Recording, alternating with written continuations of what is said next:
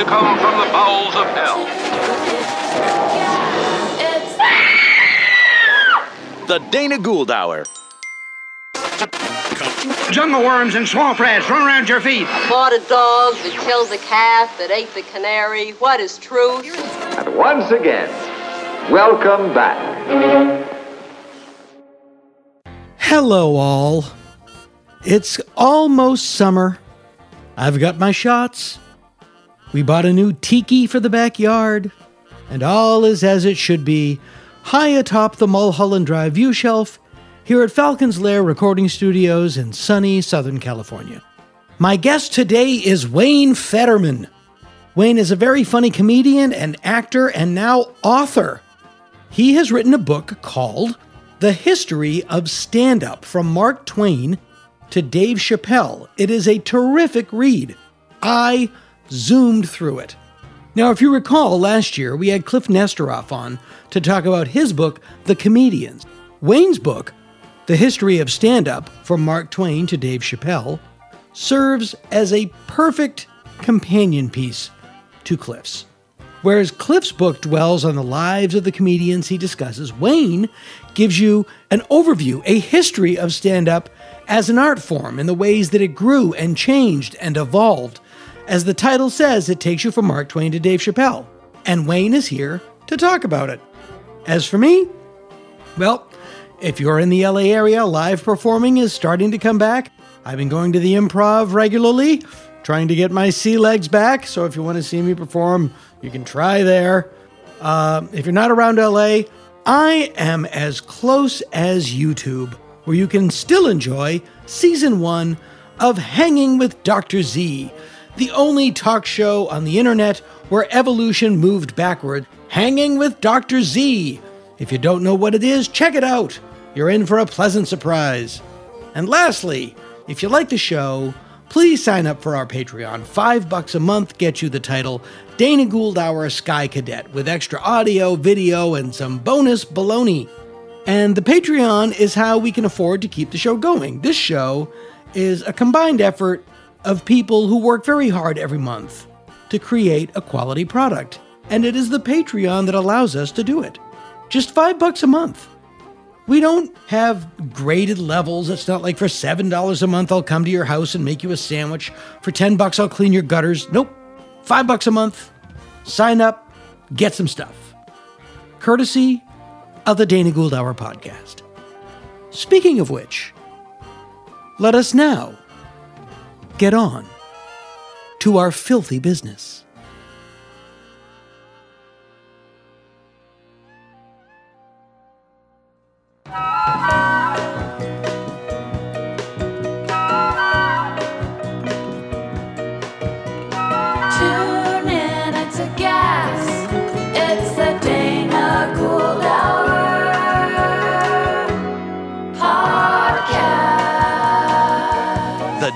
Gould Hour.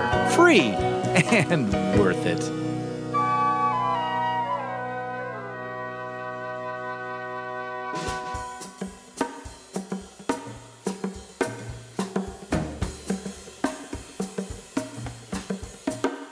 My guest today, a, a lovely, a lovely man, a good friend, a dear friend, an old friend, but he's not old, but we've known each other a long time. Uh, a really, really funny comic and an incredibly underrated uh, comedic actor, and has a new book that is nothing less than the history of stand up, and it is called the history of stand up. And you know when you when you when you do an interview with somebody who's written a book you got to read the book but normally it's a book so you're like "Oh, let me skim through this so i i know five questions to ask and they'll get me through the interview i picked it up i started and i just read it it was under two hours. I just devoured it. It's it's it's uh tons of information but in a very accessible read uh, highly highly recommended if you're a if you're a comedy fan and uh, you no doubt out or you're not listening to this podcast um please welcome wayne federman.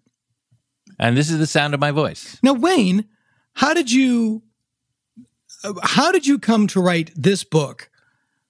And i want to ask you this because you reference the comedians Yes. by by kliph nesteroff what I found interesting about this, having read Kliph's book, is that this book it they don't overlap. Yeah.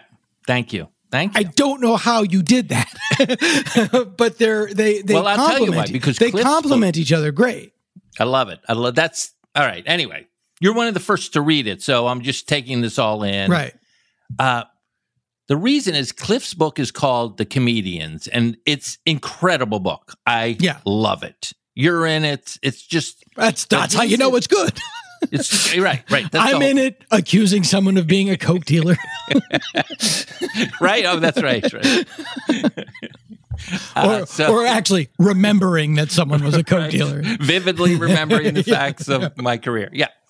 So his is what Cl- Kliph is all like. There's a lot of original interviews in it. He is an out of this world researcher, Yeah. especially for those those comedians from the nightclub era that everyone sort of forgot about. He loves those guys and tracked them down, and a lot of them were, were still alive. Yeah, it's amazing. It's amazing. He's the uh, Ken Burns of, of whatever Yeah, subject he tackles.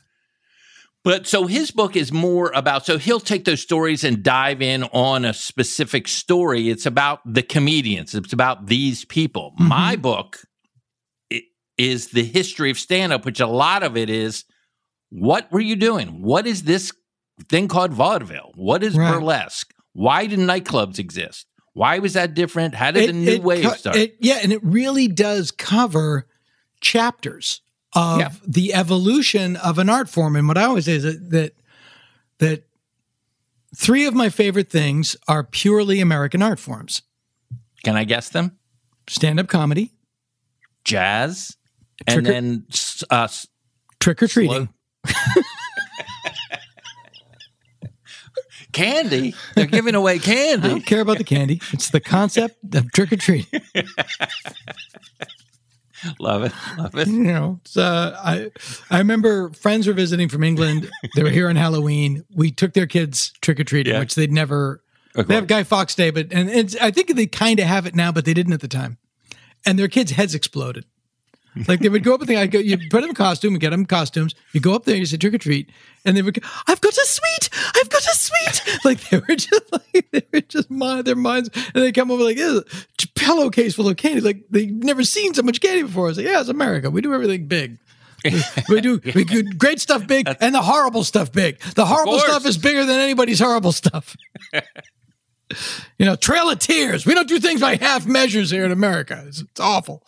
Um, so, uh, but uh, but yeah, stand up comedy certainly.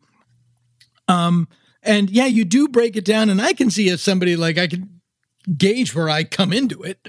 Um, yes, that's the Dana. Can I just? I, I keep interrupting. My whole goal of this book is that it's all one thing. It's been it's started years ago. It's going to continue after us in many Yeah. different ways. And you get on this merry-go-round for a while, and you get to be famous or funny, and you get to be popular, and if you're good at it, and Yeah. and but most important, you get to make people laugh, like whatever that is. You're Right. doing it. Ed Wynn is doing it. It's the same thing. Right. Yeah. It it's uh it, it's it's so true. And you start the book. This is an it, let's go right to the beginning. Okay. Okay. Um okay. okay. you uh, you attribute it to four founding fathers. And I and I had always attributed to one of them. So n- won't take the whole time on this, but I do want to it, it- it's uh tell me about the four founding fathers of stand-up comedy. What people perceive of as stand-up comedy in America.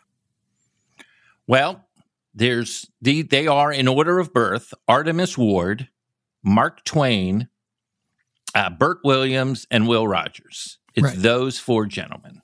And, I'm guessing you're you think Will Rogers was the start of it.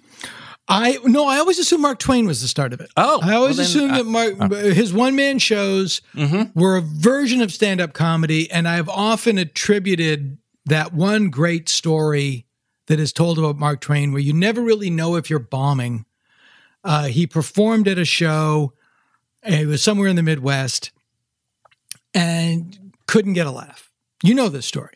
No, uh, tell me. Oh, he couldn't get a laugh. He couldn't, and, he, and it was I'm intermission or whatever. I'm just a stand-up historian. I would not know the story. Go ahead. Tell me. well, he and he was. It's like, what the hell's going on? This stuff kills. You know, it's like this. I know this set. This set kills. But it was like farmers from Nebraska or wherever the hell he was, and he goes out into the uh, by the lobby and he's listening to people in the lobby, and he heard somebody says maybe apocryphal, but he said uh, that was pretty good, huh? Yeah, it's all I could do to keep from laughing. People thought it would be rude Yeah. if they laughed. So they were just trying to listen politely.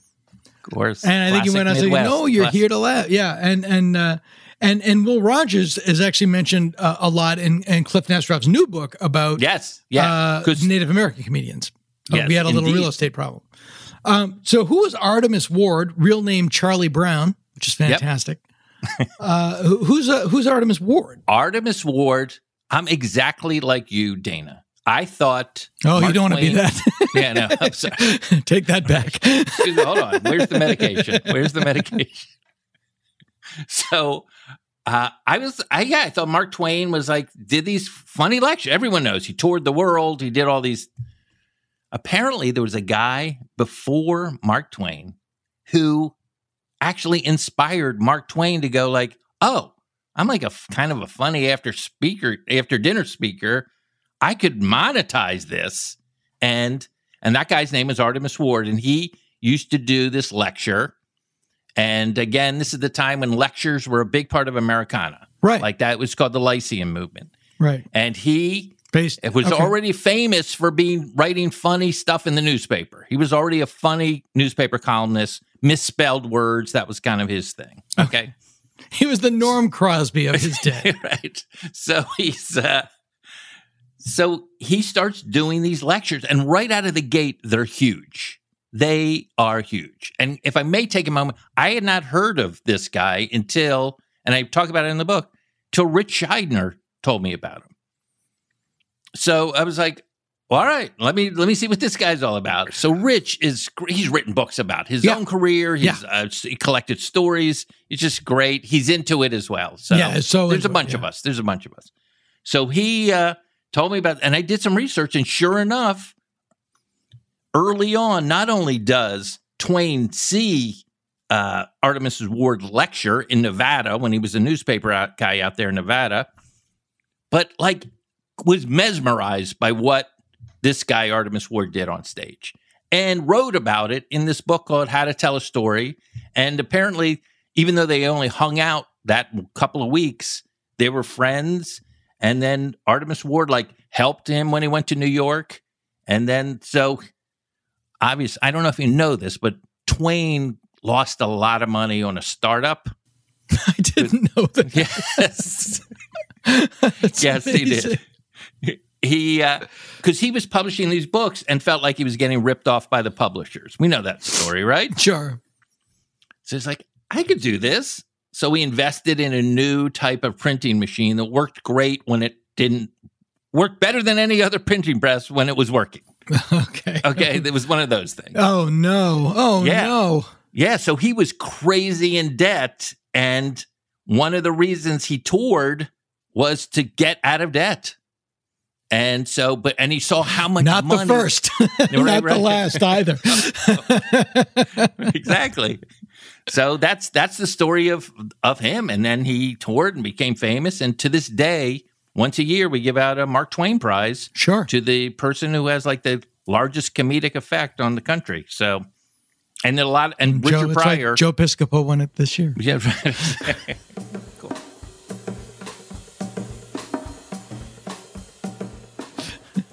uh, so Richard Pryor was the first uh, recipient of that.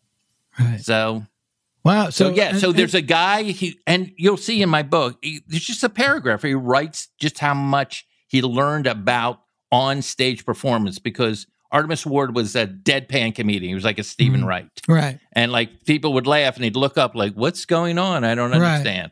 So he did a lot of that. Never And it's cracking up. amazing. And it's the 1800s. And Yes, he's yeah, already yeah. figured that out. Like Yeah. he's, but he's already meta. you know, it's 1860s, and he's already like, I'm going to pretend I'm not being funny, Yeah, and they'll laugh even more, which is exactly. And people, and people always talk about, again, I'm telling you nothing you don't know. uh, Steven Wright. People always think about deadpan comedian Steven Wright. The the guy that influenced Steven Wright, hmm Jackie Vernon. I love it. Yes, Yeah, course. Steven's very open about that. Um, and that's another theme of my book, and I can't believe I keep talking about it. Is that everyone influences other people, so Sure. it's this constant. So Twain gets influences influenced by you know Artemus, Steven Wright, Jackie Vernon, hmm but sometimes it's it's you know obviously Robert Klein. There's like a whole school of comedians that were And people, but yeah, people break through. But I know, like you know, uh, look, I know people that have been influenced by me. I can tell you who I was influenced by. So it's the, you know you you think that you're doing something original, but you just don't know the source of the guy that inspired. Like you don't know all- Robert Klein yeah. was was.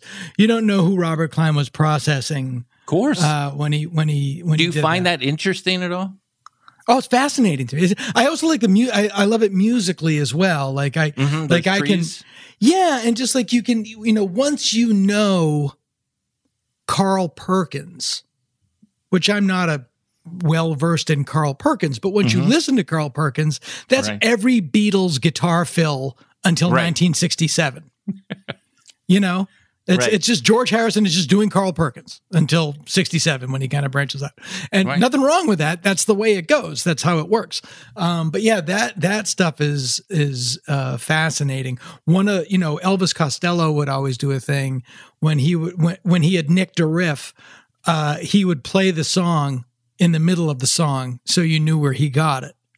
Oh, really? Yeah, yeah, yeah. He was uh he was uh he would always do that. He would you'd listen to a song and then suddenly he would be singing a different song and you realize, "Oh, that's where he got this." And he was very open about, "No, this is how we do this." One Um, of the best, one of the best part of stories of that, not stories, but it is Steve Martin, because Steve Martin was such a unique comedian for his time. You're like, Yeah. where did this all come from? And a lot of it is from this dude Wally Boag, who used At to work Disneyland. Dis- At Yeah. Disneyland, yeah. Yeah, and I don't know. You know, there's footage of Wally Boag's act. They filmed it for like a movie to put on before a Disney movie in the '60s, and it's really good. I didn't it's know that. really entertaining. I I'm gonna I'm gonna throw you something, and then we'll go. I want to go back to the chronology, but this is Okay. this is. You know who I suspect Robin Williams, Wally Boag was? Dick Shawn and the producers. Oh wow! LSD's onstage persona Mm-hmm. is Robin. Right? Watch it. Yeah, I, yeah, I yeah. was like, I hadn't seen it in years. That's incredible. And. I was watching like, oh, that's Robin. It's Yeah. it's it's uncanny. It's un, if it's not, if it wasn't, it's an uncanny parallel. Um, but so, um, the other thing that you know, part of the thing that people don't like to talk about is the importance of minstrel shows. yes, Um, and even I in the book, I'm like, okay, here we go. I'm like, Yeah. very, yeah, yeah. Yeah. Well, it's funny in in 1848, I think, Mm-hmm.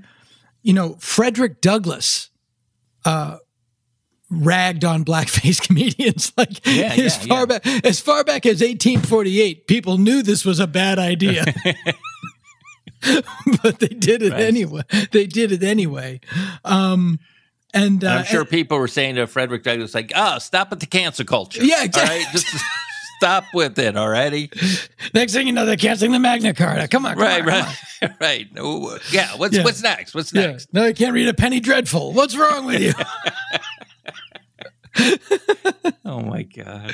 yeah, no, it's it's it's fa- it's fascinating. Uh, um, it, it- and it is one of those things where you look at it and you go, yeah, and but it's it's not to get too heavy, but in the same way that in the 50s and 60s, a lot of Native Americans were portrayed by Italian and Jewish guys in wigs. You know, there is an element of these people are less than, so it doesn't mm-hmm. matter.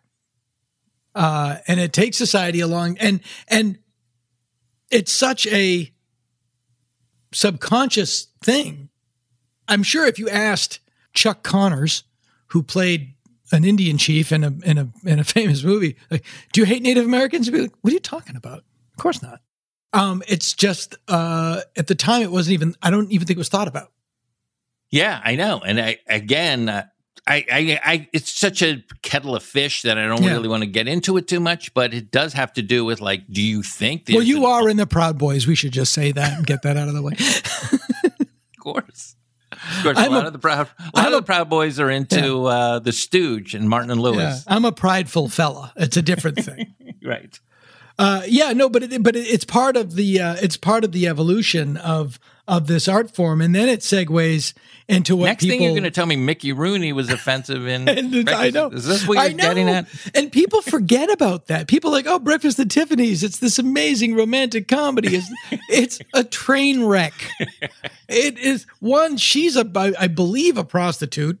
Um, happy go lucky, the way they all are. They're all Right. they love I- I'll And- go lightly. I think. Yeah, yeah. right. And then Mickey Rooney is in this crazy from a from a I mean it's not even it breaks the reality of the movie. He's not even a convincing You know, it's not like, you know, Boris Karloff playing Mr. Moto, which you can argue against, but he looks convincing. Not so Breakfast at Tiffany's. Well, can I, in a weird, and I know this might get me in trouble, defend Mickey Rooney? Is I feel like Blake Edwards never gets any blowback for that, and it all falls on sure, it's Mickey. all, it's all, it's all on. It's Blake Edwards was the guy that's directing him, and Blake yeah, I'm Edwards. the sure guy he's who going chooses the show. bigger. Make it I'm bigger. sure. I'm sure. Yeah. Well, it's never anybody who's been in the movie will tell you it's not your performance that's on screen. It's the director's performance. Yeah. Yeah. That was Thank this you. famous story about George C. Scott. And oh. George C. Scott did not like Dr. Strangelove. He famously said, That is not my performance. That is not the performance I wanted to give. But Stanley Kubrick just kept pushing him and pushing him and pushing him and always printing the last tape. Thank God. Thank God. And and George C. Scott wouldn't at first, the reason that George C. Scott even took his direction was because he fancied himself a chess master. And Stanley Kubrick's like, oh, we should play chess. And Stanley like took him to the cleaners. Like, he was Right. like, all right, well, Little this guy clearly this guy clearly knows what he's doing on the chessboard. Um, but vaudeville and burlesque is really what people think of. I think if the average person goes, where did stand up start? You think of vaudeville. It's so. Can I just blow push back on that a little bit? Like when I talk to people, other people are like, "Oh, it didn't start till George Carlin." Other people are like, "Oh, it didn't start till um, Mort Sahl." Whoever Other I saw growing up. Yeah, yeah, Yeah. no, or just yeah, Gary like- Mule, Gary Mule Deer. Didn't he start it?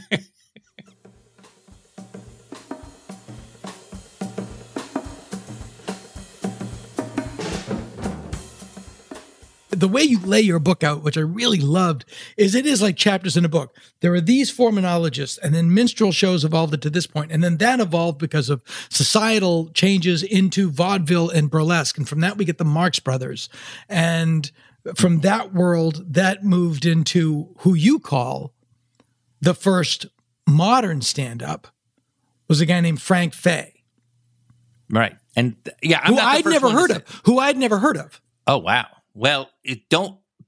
Frank Fay is a fascinating guy because that's Bob Hope's guy. That is his, like whenever he would be interviewed, like who do you see? He was like, I saw this guy do Frank Fay. I was like, oh, you can be that on stage, as opposed to oh, I'm an Irish guy or I'm a you know a Hebrew thing or a German, and so that really caught him. But the weird thing about Fay and and Kliph goes into it in his book is he was like sort of a very I don't know German. He was very sympathetic to the Nazi cause, is the way I would say it, and he was hated and he was just hated. So he's like a really interesting guy, just as a character in this whole story. Was this dude who starts emceeing at the palace, and people are like, "Oh my god, this is possible!"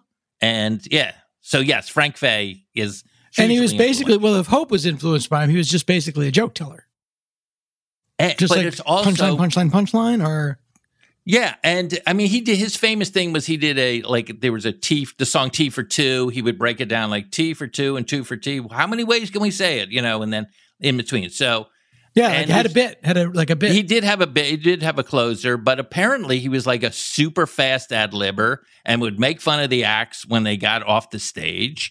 And so emceeing was like a really way to showcase this new kind of comedian who, guess what?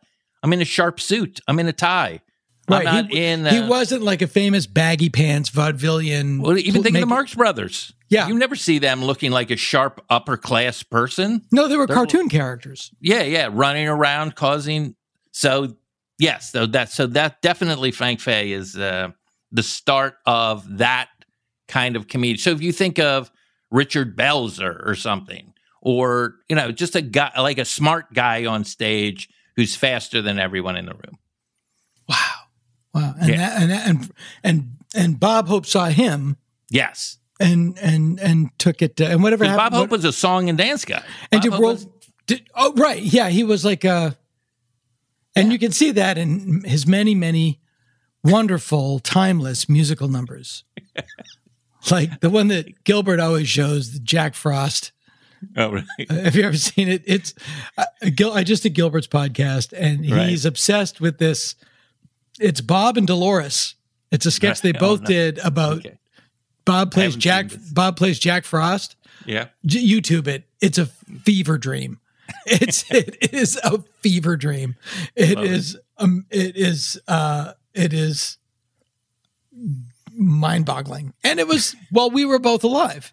And it I was on national television Of course, of course. you know you course. see those things and you go how how was this on tv You know, it's like people loved it um but i also wanted to talk about because you talk about elsie janis Yes. Thank you for paying attention to my Yeah. book. yeah i read the book i told you. um uh, and and uh, and elsie janis uh was the first what you're to maybe the first modern day stand-up comedian i don't even know if that's a proper No, term no, anymore I, that's not that's not the point I'm making because she was a variety. She did it. She did Right. singing. She told, but she was known for impressions. right She could do like mainly guys. She would do Will Rogers. She would do uh, George M. Cohan. So she was really known for that, and that's how she became a vaudeville headliner. There was a few of these, but she could she would also sing and interact and Right. do sing-alongs. She and she wanted to be an actress too, so she wasn't straight stand-up. right But what's interesting about her is she was the first one to entertain the troops overseas. Oh, uh, before Bob Hope.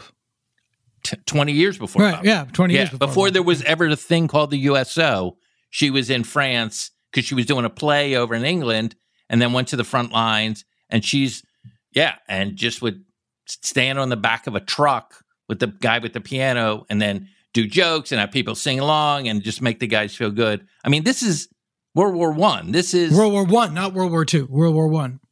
Yeah, this Yeah. is World War One in France on the front lines. There's mustard gas. There's it's not a you saw 1917, right? I did. yeah. Yeah.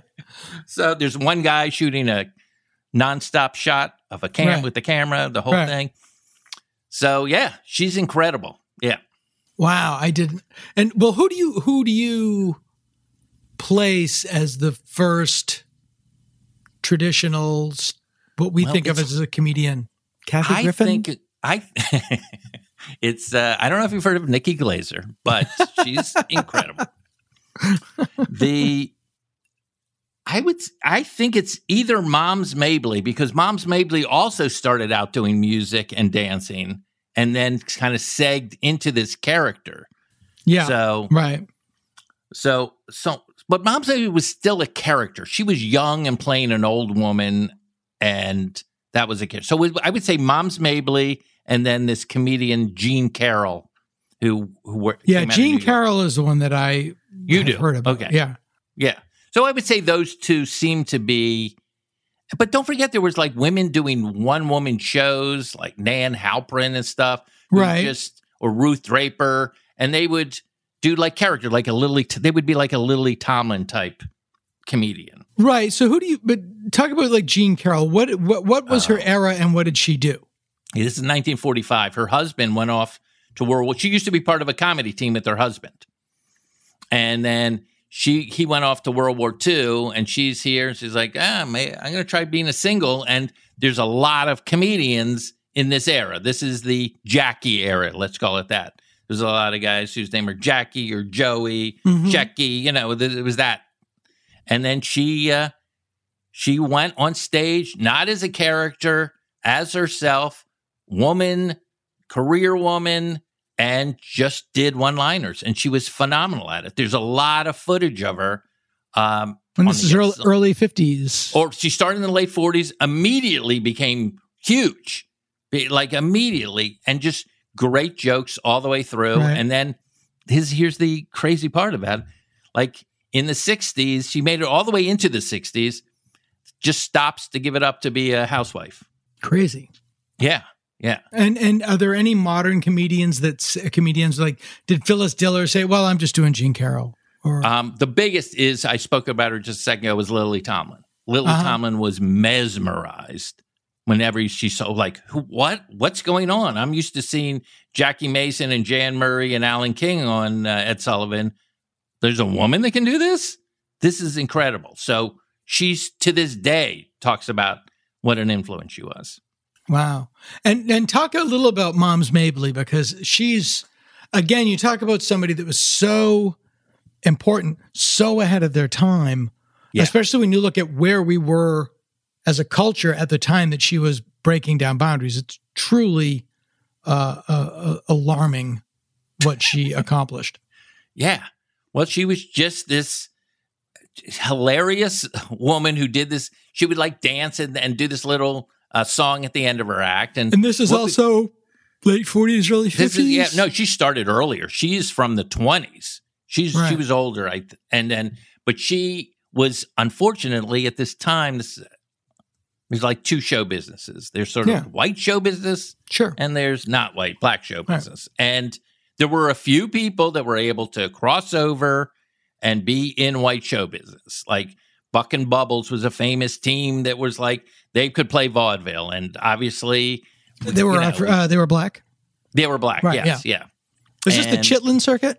yeah so she before even the chitlin circuit there was something there was another vaudeville circuit called toba uh, and so she played there she got discovered by this incredible comedy team called butter beans and susie have you ever heard of them No. great classic old time old timey. There's records of them like they still ex- so anyway so butterbeans and susie saw her saw her potential and then took her under the wing and then she just created an act and then developed and then over the years she came up with this character of moms which was lady in a old like uh house dress s- slippers hat and was a man crazy older woman like that was her And it was a complete fabrication. It was just like yeah, that. yeah, yeah, yeah. I think she was. I think she's a lesbian. Like that's, if I'm not mistaken.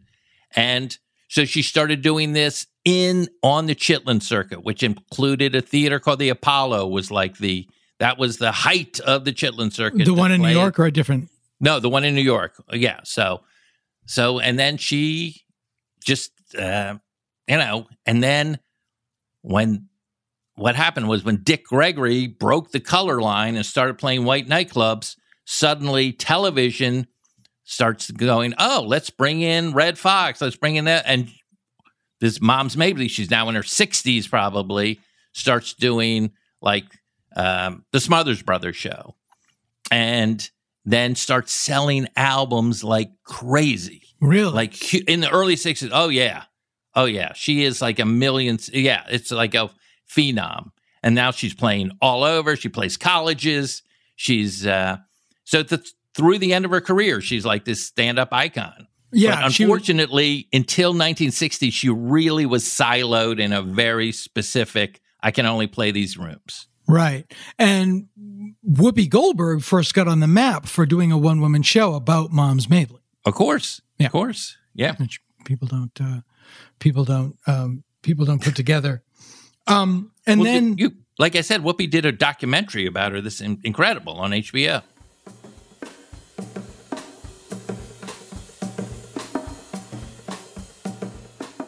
I'm always amazed by What?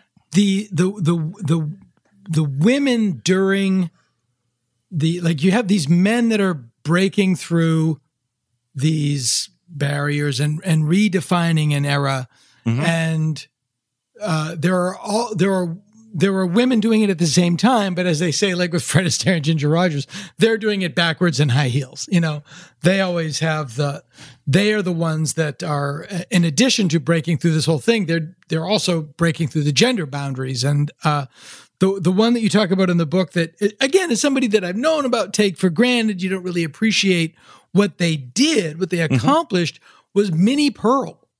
Right, right.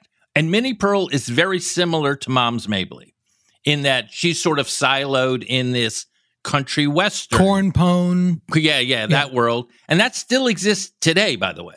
There's a bunch of comedians that play that circuit. There's a incredible comedian named Chonda Pierce. I don't know if you know her. She headlines churches.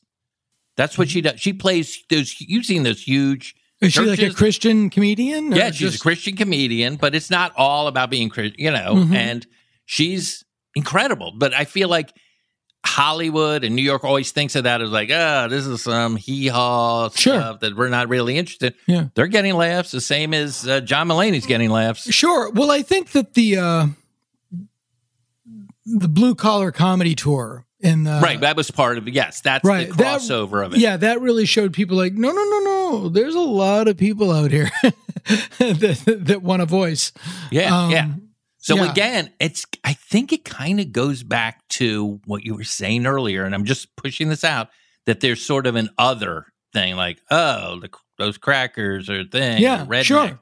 So it's like you already feel like maybe superior to them or something like Well, that. you know that, and and you know that has been a you know the interesting thing is it's been a constant in our culture uh huh. from from the time of Twain. You know, it's it, it's not new. Right. And, you know, during the late 60s, early 70s, when I was a little kid, uh, you know, watching, my mom was from Virginia. So even though I grew up in Massachusetts, she watched Hee Haw. Mm-hmm. And we would watch Hee Haw. And they had junior samples and, and, you know, all those, so the Southern fried mini, that's how I know who Minnie Pearl is. And it, it was like, you know what they do up north? You know, it was very much, uh, high, Andy, the Andy Griffith show was maybe the crossover of that attitude. It was like, you know, the, the people down, simple folks down south are much smarter than, Oh, you know, so you think it was have- the opposite? We have com- no, no, I think he was saying the same thing, but it was a crossover that the, the whole point of that attitude is we're simple folk. We're Small not fancy, town. but right. Yeah. And then at the end of the day, we're smarter because we have common sense. And Right, right, we're the- right, right. As Mel Brooks would say, we're the common clay. we're the common clay. And and that was the undercurrent of of that sense of humor Right. that that that Nixon weaponized as the silent majority. Wow. Interesting. You know, it was it wasn't until it was this that was the Southern strategy. That was the silent majority. Like we, the simple American people, the the, the non elites right. are smarter. better. Backbone. Right. Yeah. Yeah. Hey, look that- at me. There's grain in the background. Yeah, exactly. And that was the that was the the the comedic voice of it. The the the, the voice that we, I think, and, and that most modern stand-ups um claim a kinship to, and the era of stand-up that I get the most excited about is late 40s, early 50s. World War II is over. Everybody comes back from the war. Mhm. People start having babies, moving into the suburbs. But in the A lot of money. cities, A lot of money. lot of money. But in the cities, nightclubs go, nightclubs explode, dinner theater and nightclubs explode, and a whole new breed of comedian comes to the fore to satisfy this need. And that's where all of that's where modern stand-up really calcified with Mort Sahl and Shelley Berman and Lenny Bruce. What what we imagine as a modern day stand-up comedian found its footing and uh and it, and it's the you know if if you look at stand up as an evolutionary ladder this is the first upright you know the, Right. this is the first upright anthropoid Right. And I don't know if I totally agree with that because I do feel like there this interview is over we've lost we've lost the signal. yeah, I, I yes, I mean a lot of people have made that point, but in a way, you're combining two different eras. Mm-hmm. You're combining the nightclub era, which is Ciro's and the Copacabana and the Latin Quarter and all of that, with this sort of alternative, which was I'm calling the new wave in my book, which is Mort Sahl at the hungry i, and then uh, Shelley Berman in a little club Right. in in Chicago called Mr. Kelly's. Right. Like these aren't like the big. They're opening night- for ja- they're opening for jazz bands basically. right jazz bands, folk singers, and so, so it's like Right. sort of. And there was a big divide between what Joey Bishop was doing and what those guys were doing. And Joey Bishop was definitely a World War II, you know, part of that. Right. You know, I'm in a tux. I'm performing in a tuxedo, Right. and I'm here. So there's there's a slight difference. Well, it, it it is, but it's also very much in the same way. But to that were- end, they are they're heads and tails. Oh, okay. But in the Yeah. same way that you, and I write about it in the book, and Janine, when you started doing what became known as alt Mm-hmm. comedy, was a reaction against the 80s comedians with their, Right. not tuxedos, skinny ties. Skinny ties and their and their suit jacket sleeves pushed up around their elbows. Right. So you were part of this. So you've seen this kind of thing where there's this right, but becomes but like, to the, but to that end, yeah, they coexist at the same time. Of course. You know, they're, Of course. they're, yeah. they're yin and Buddy yang, yin and Hackett is around at the same time that Mort Yeah. Saul and Shelley Berman and Bob Newhart are around. right, yeah, and and and, And so- in a way, I know they're not a stand-up comedy, but Nichols and May, I think, are very important in this. In like, oh, they they were doing records, and definitely, yeah. I'm going to use the word elitist, but let's say, uh, Well, they're on Broadway, and they were Yeah, you know, yeah, they were, yeah, yeah, yeah. But but it is but it is it is inter- it is interesting in that um people attribute like Lenny Bruce. He's an easy shorthand for the modern day acerbic, Mhm. boundary breaking comedian. and also social critic. Right. That's what I He's mean. the one who's like, oh, you yeah. think America is great? Guess what? Right. You're It's not. hypocrites. right. There's there's there's ten Pe- Puerto Ricans living in this house as I'm walking to this church, which is incredible. Right. Right. Yeah, yeah. But, but Mort Sahl kind of beat Lenny to the punch, did he not? Yes, he did. Yes, Yeah. he did. No question. No question. Tell But- tell tell a little bit about Mort Sahl. Well, it's funny because they were both working here in Los Angeles at the same club.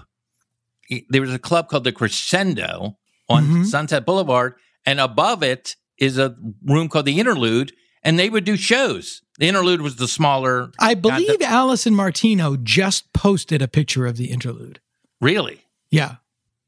Look. So, so anyway, yes, Mort Sahl was, you know, again, so I I don't. I'm trying to make it as fast as possible. no, it's fine. It's good. He like he comes out of San Francisco and he is he's working at a place called the hungry i, which is ki- kind of like sort of your first jazz comedy club. It's in a basement. So anyway, so he's playing this little room, which is different than what's going on at the Sahara Hotel. That's that what's going on in Vegas. What's go you know what's mm-hmm. going on in Miami Beach, or even in the Catskills with these big rooms. And he starts doing this. Poli- he does political humor that's in the vein of Will Rogers, but it's a little more pointed. And he's attacking President Eisenhower, who just just was elected. This is 1953, and of course the intellectuals and the Bohemians in San Francisco. You lived there, you know that there's that side to it. So they love him. He starts packing the room. And again, this isn't a showcase comedy club. Right. This It's is a jazz He's a booking. It's a booking. Right, He's right. making money. and then local writers start writing about him. And he's not in a tuxedo. People like He's Nat sweater. Hentoff. What? Nat Hentoff. And, Yeah, all of those guys. Uh, I can't think of the other guy who wrote for the. Um, anyway, so he gets a reputation right out of the gate. It's like, oh, he's doing something different. Tours, and believe it or not, is the first comedian to sort of work colleges. He would work with uh, Dave Brubeck at colleges and opened up that market. So if you've ever done a gig at a college, tip of the hat to Mort Sahl.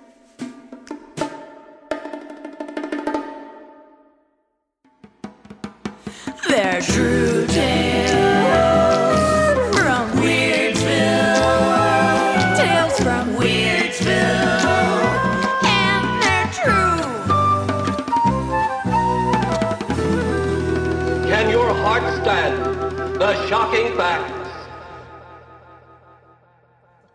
His name was Ernie Nash, and he was born in Texas in 1896. When he was 12 years old, his family moved to New York City, and Ernie Nash got bit by the acting bug. At the age of 15, Ernie and his friend Moses Horwitz joined a vaudeville troupe called the Annette Kellerman Diving Girls. It didn't work out, as they say, and Ernie and his friend Moses went their separate ways. Undeterred, Ernie developed an act all on his own, changing his name along the way from Ernie Nash to the equally unremarkable Ted Healy. By the 1920s, Ted Healy was one of the highest paid acts in vaudeville, making $9,000 a week in 1920s monies. The show, Ted Healy's Syncopated Toes, was a collection of acrobatic stunts. Healy expanded the show and he placed an ad in the paper for new performers. One of the applicants was his childhood friend, Moses Horwitz, who by now had changed his name to the less ethnic Moe Howard. Moe passed the audition, but he was no acrobat, so he joined the show as a mark. A mark is a performer planted in the audience who is then called up on stage during the performance. The other members of the audience, not knowing that this guy's a plant, are usually so delighted when this ordinary member of the crowd turns out to be oh so funny. In vaudeville in the 20s, they did not use the term mark, they used the term stooge. In 1924, Moe's brother Shemp joined the act, also as a stooge. Healy's Syncopated Toes went through a myriad of title and format changes. By 1928, it had morphed into a revue called A Night in Spain. In March of 1928, while performing at the Grand Opera House in Chicago, a local actor named Larry Fine joined the cast. In 1930, Healy was hired by Fox Films to make a movie called Soup to Nuts. And he brought several members of his A Night in Spain cast with him, among them Moe Howard, Shemp Howard, and Larry Fine. After Soup to Nuts, Howard, Fine, and Howard left Healy and toured independently as the Three Lost Souls. After a time, Shemp went off and pursued a solo career, billed for a time as the ugliest man in Hollywood. You can see him in Abbott and Costello Join the Navy. Shemp was then replaced by his and Moe's other brother, Jerome, who was renamed Curly. The new lineup of Moe, Larry, and Curly signed a deal with Columbia Pictures to make a series of short movies under the name The Three Stooges. From 1934 to 1946, Moe, Larry, and Curly made over 90, 90 short subjects for Columbia. The 30s and 40s boasted several popular comedy teams, many of them comprised of actual brothers. The Marx Brothers, of course, are legends. Witty and clever, they boasted brilliantly unique characters in the forms of Groucho, Harpo, and Chico, and yes, also Zeppo. The Marx Brothers on screen anarchy was and remains without peer. They had help, of course, employing writers like S.J. Perelman, Leo McCarey, George S. Kaufman, Herman Mankiewicz, Robert Florey. In addition to the Marx Brothers, the Stooges were also in competition with the Ritz Brothers, comprised of Al, Jimmy, and Harry Ritz. Unlike the Marx Brothers and the Three Stooges, for that matter, the Ritz Brothers didn't really have individual characters. Al, Jimmy, and Harry Ritz, they looked alike, they acted alike. They weren't as witty and clever as the Marx Brothers, nor as fiercely physical and downright brutal as the Three Stooges, but they were funny for their time, and they made a nice living. But the Three Stooges were undeniably unique. They would never say a line when they could hit each other instead, or put each other's heads into a vice, or tear each other's hair out, or jam a claw hammer up each other's noses. You get the picture. And where Groucho Marx had witticisms like, She offered her honor, he honored her offer, and all night long he was honor and offer. Moe Howard had zingers like, Remind me to kill you later. Jerome Howard, Curly, to the world, suffered a stroke in 1946 and left the group, allowing Shemp to return until his death in 1955. At the time of Shemp's death, the Stooges still owed Columbia Pictures four shorts, and they hired an actor named Joe Palma and used the old footage of Shemp with Joe with his back to the camera to finish the shorts. People with sharp eyes can easily spot a fake Shemp, however, and the term is often used, if you're cool and know what you're talking about, to describe a stunt double. Check out the credits of Army of Darkness. After the four fake Shemp Stooge shorts were completed, Joe Besser replaced Shemp as the third Stooge, but only for two years. His wife became ill right around the time Columbia terminated its shorts program. Now, by this time, TV is becoming popular and gaining a foothold in American homes. And like your phone now, it was hungry for product, or as they say now, content. Content, content, co- oh, precious content. So Columbia Pictures formed a TV unit called Screen Gems, and they sold the Three Stooges short subjects to TV. By the early 1960s, thanks to TV, the Three Stooges became huge. They were bigger than they ever were before, and as far as they were concerned, they had retired. But, buoyed by their TV fame, comic actor Joe DeRita became Curly Joe in 1958 for a new series of full length movies. They made about six in the late 50s uh, up to the uh, mid 60s. The most famous is probably Three Stooges Meet Hercules. Uh, the Stooges kept working. They made cameos on TV. They appeared in uh, It's a Mad, Mad, Mad, Mad World. And uh, by 1970, still working, they were in the middle of filming a pilot for a Three Stooges TV series when Larry Fine suffered a severe stroke, and that effectively ended the act. That said, the Stooges, for all of their lowbrow antics, outlasted all of their contemporaries the Marx Brothers, the Ritz Brothers, Abbott and Costello, all of them. Amazing story if it ends there, right? Well, nope. The story hasn't even started. Now, do you remember Al Adamson? We covered Al Adamson extensively in the Halloween episode uh, last year. Al Adamson, who, along with his producing partner Sam Sherman, made Satan Sadists, Psycho A Go Go, Blood of Ghastly Horror. The same Al Adamson who was later murdered by his handyman and buried under his own hot tub. Yes, that Al Adamson. Well, if you haven't heard the story of Adamson, you might want to go back and check out last year's Halloween episode. It is a doozy. But for the sake of this story, you're fine. Just know that Al Adamson and his producing partner Sam Sherman made a lot of crap, but they were unpretentious guys who knew exactly what they were doing and seemed to have a sense of humor about it. Here is Sam Sherman talking about the movie Dracula versus Frankenstein.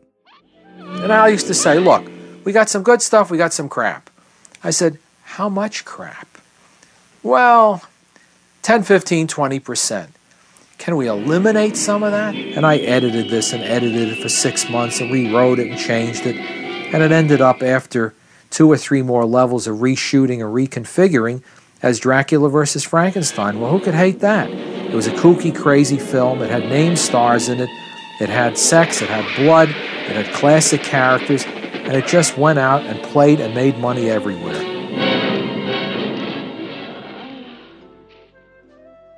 Okay. Another thing about Sam Sherman, who's still with us, by the way, bless his heart. He might have made films like Satan Sadists and Blood of Ghastly Horror, but he had a deep love of classic movies. He collected them, he, he's a walking encyclopedia. He started his career as a very young man writing for Wildest Westerns magazine, which was basically the cowboy movie companion to Famous Monsters magazine, same publisher, Warren Publications, and, and Sam interviewed old cowboy stars. This brings us to 1973's The Naughty Stewardesses. Yes. As the 1970s got underway and the biker craze started by Easy Rider started to wane, Sam Sherman decided to crank out a softcore nudie pick to keep the money rolling in.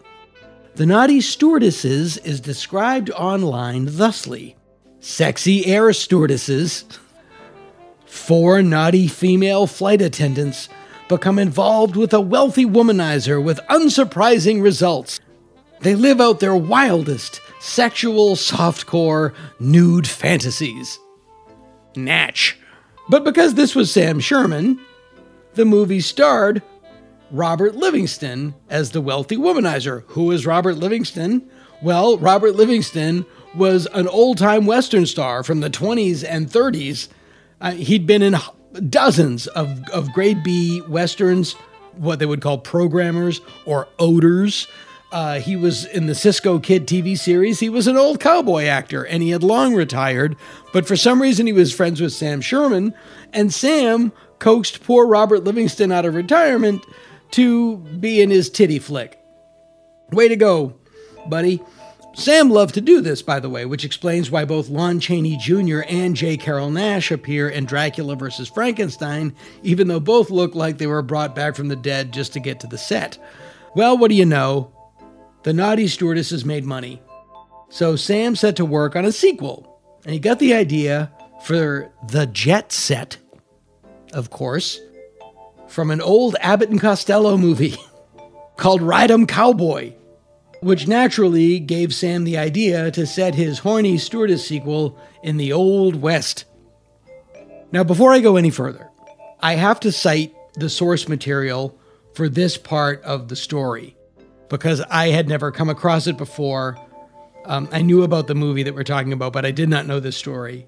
And I have to draw your attention to a, a really great resource called Anthony Balducci's Journal. Anthony B a L D U C C I.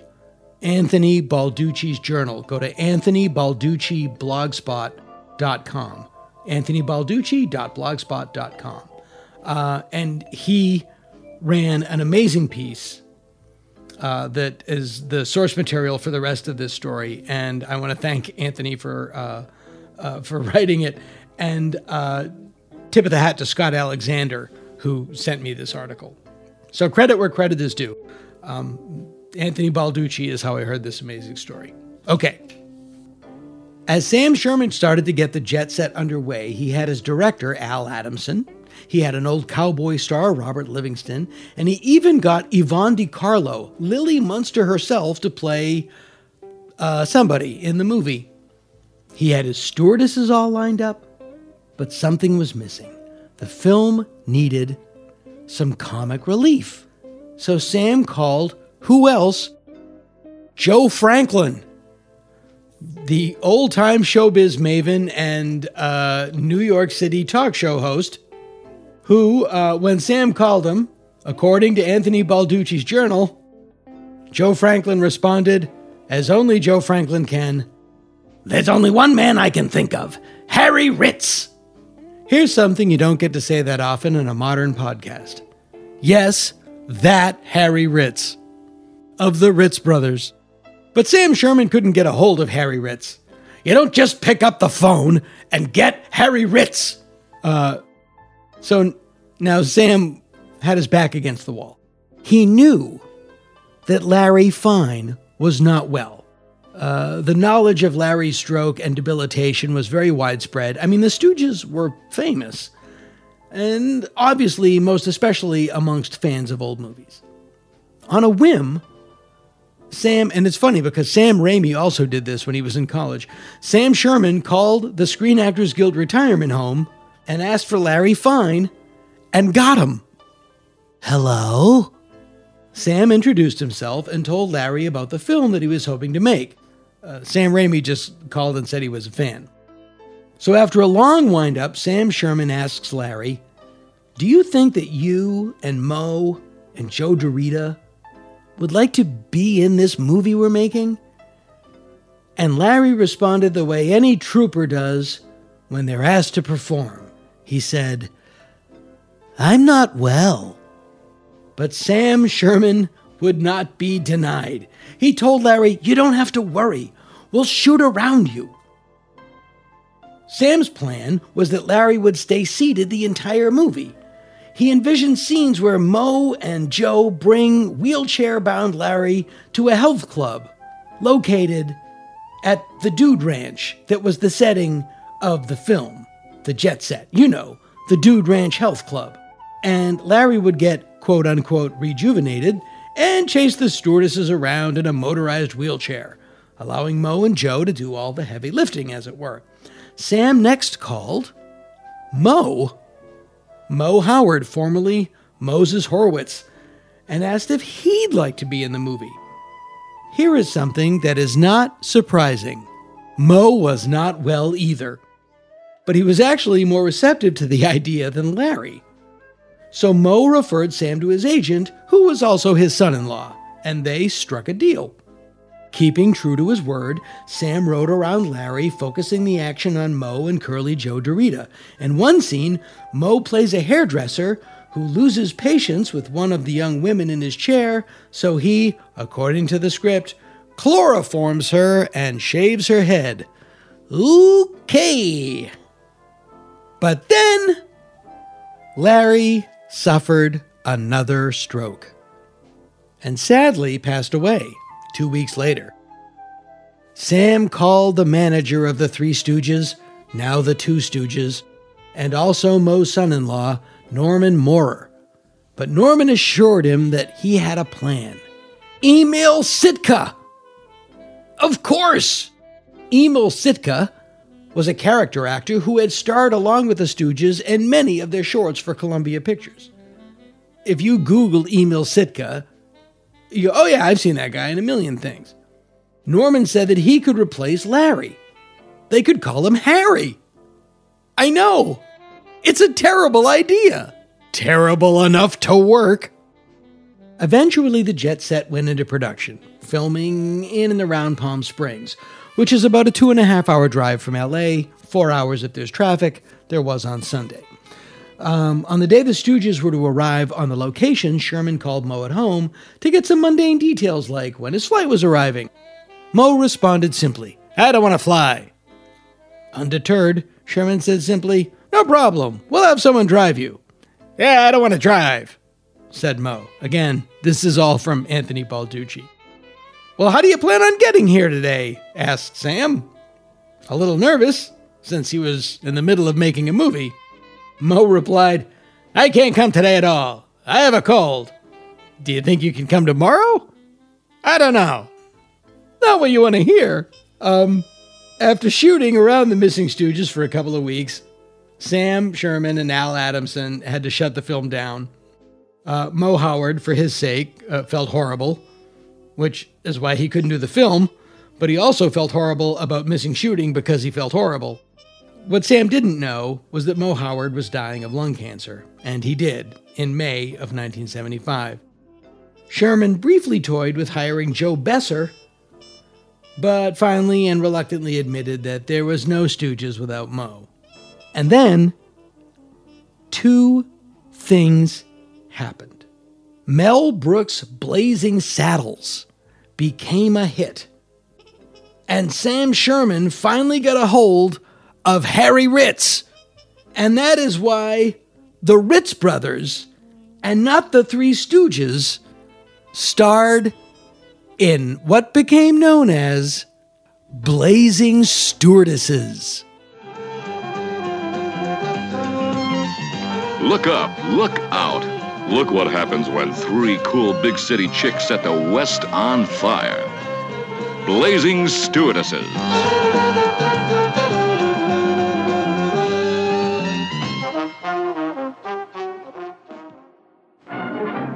This is Groucho Marx. Did you know, for example, that your chances of surviving an atom bomb attack are excellent? It's true. I'm convinced that these precautions are necessary right now. They're important to your family, yourself, and your community. Settle back now, content, comfortable, well fed, and ready for some fine entertainment. Is everybody happy? Then let's go.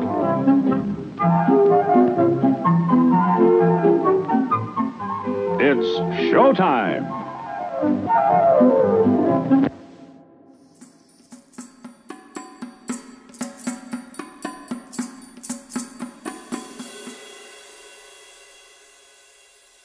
So th- that was the great thing about him. And then he went across the country and and and became like this Moses of this new way Yeah. to do stand up. And and people don't realize how big Mort Sahl was.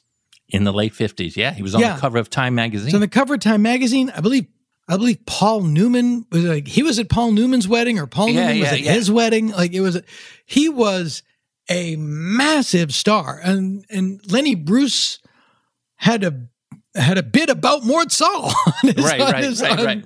Uh, on uh, on the live at Carnegie Hall. He, he he does a bit about Mort Sahl and Shelley Berman. Yeah. So it's it's incredible break. He's like he is a credible break from the way stand-ups were or still were in mainstream in mainstream nightclubs. And here's what's great about him. He influences two comedians directly. Directly. Who never thought about doing stand-up until they saw him doing it in this way. In the same way that Bob Hope didn't think about stand-up until he saw Frank Fay.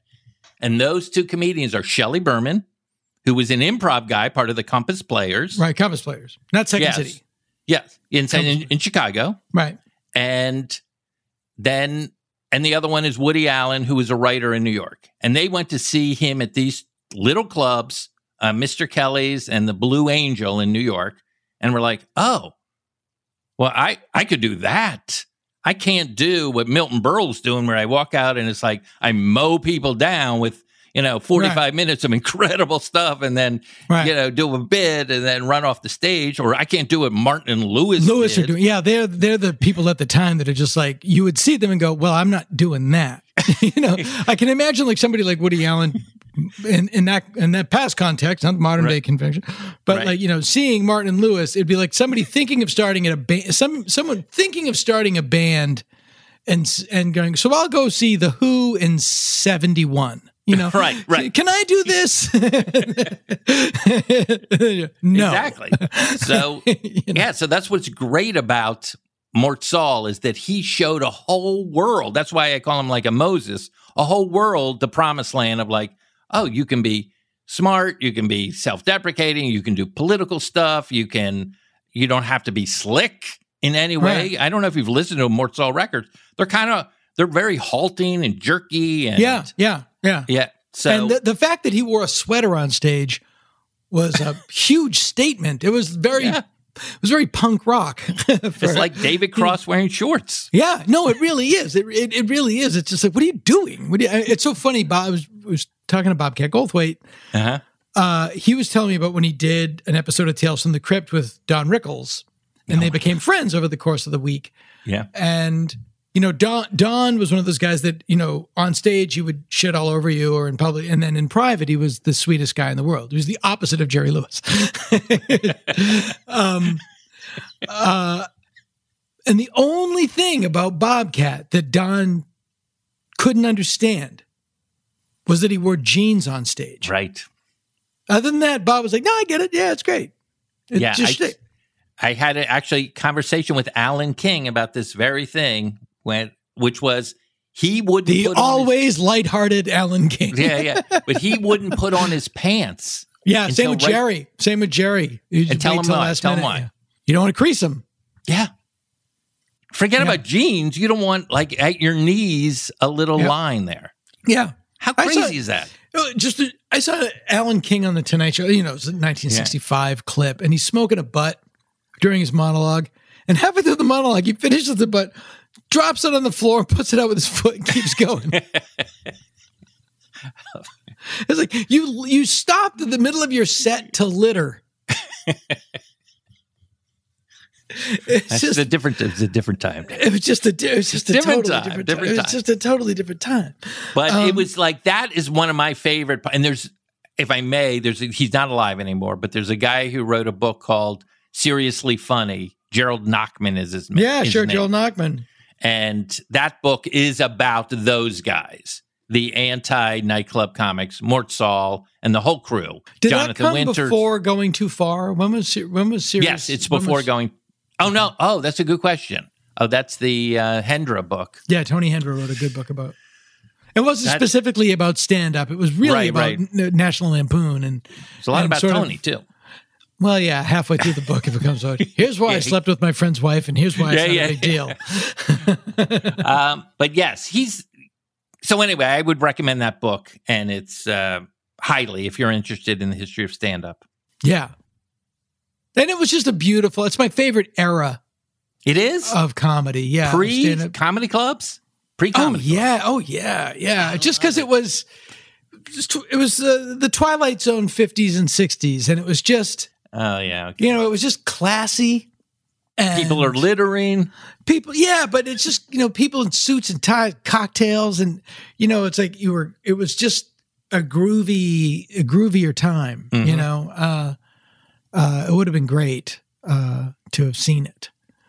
Um, and uh, yeah, and and and uh, and Lenny Bruce came Lenny out Bruce of, from that era, and Yeah. he's actually from, believe it or not, and this is something one era where I area where I really wish I had written more of in the book is there's a strip club circuit in the Right. 40s, 50s. This is they and that's what Lenny came. Lenny came out of the Yeah, strip, club circuit. Yeah, yeah, Oh, of course. He came in. Yeah. Yeah, That's where he met his wife.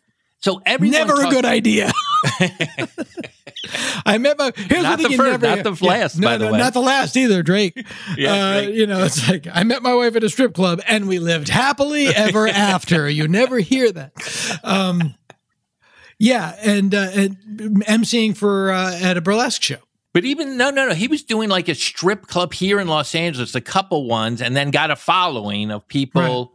And he would do. There was something he would just do great stuff. There's one thing I think he did it at the at the strip club. He would be able to call someone. You could hear it through the sound system. Mm-hmm. So like people would be there with their like on a date or He would no, do excuse kooky- me. This might be kooky at the crazy interlude. calls. This is at the interlude. He would call the babysitter and say that you know Mike and Lucy. This is the police. They died in a car accident, but don't worry. You just have to take care of the kids for another three days. We're going to be over there, like that kind of thing. Oh, so it was like very awful. out of the box kind of. uh I, I yeah. So he's part of that strip club world. By the way, here's a And, little. and a big part of that world, heroin. yes, yeah.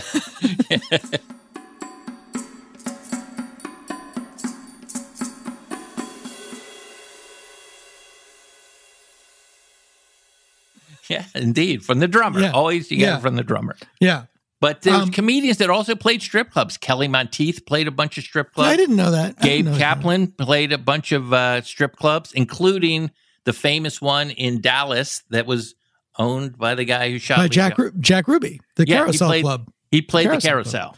There was a comedy club over a strip club that I worked at Oh, in I- Washington D.C. Of course. A Yeah. comic cafe. I've done it myself. Todd Glass and I did that room together. Yeah, and my memory of that, and this will is a testament to the time.